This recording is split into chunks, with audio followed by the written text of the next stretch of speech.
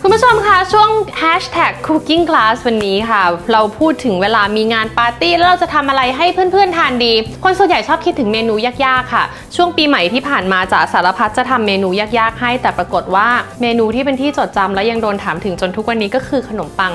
กระเทียมค่ะ ธรรมดามากทำง่ายมาก แต่ว่ายังเป็นที่กล่าวขวัญเรียกว่าเพื่อนๆ ถึงกับพูดว่าช่วยทำออกรายการได้ไหม จะได้ทำตามสำหรับคนที่มีเตาอบอยู่ที่บ้านนะคะ เป็นเมนูขนมปังกระเทียมที่จะทำให้คุณดูเป็นมาทาสจวตเบาๆ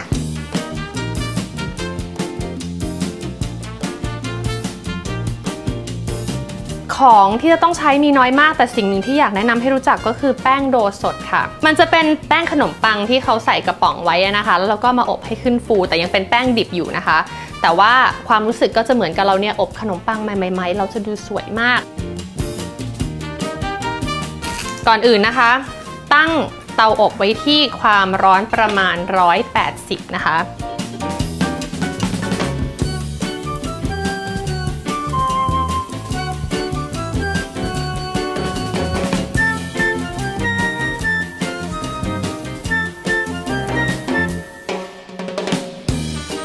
เราจะเห็นว่าหัวกระเทียมมันหลุดออกมาจากเปลือกมันนะคะ ไม่ต้องปอกไม่ต้องอะไรเลยกลิ่น มันก็จะหอมมากขึ้น แต่ว่าความดิบความเผ็ดของกระเทียมเนี่ยมันก็จะน้อยลง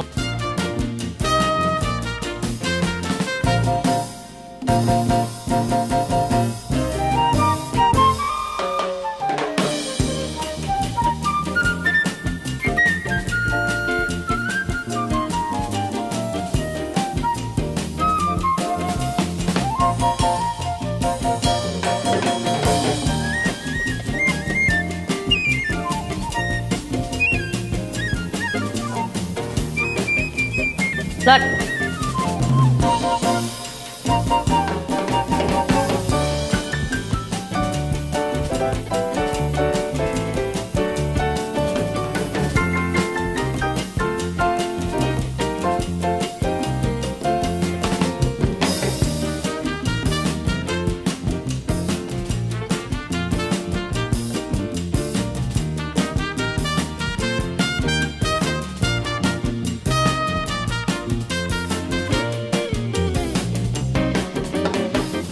ลิศเอาละค่ะ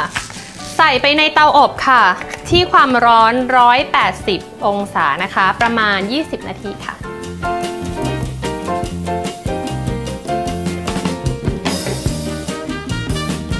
เอาละค่ะ 20 นาทีผ่านไป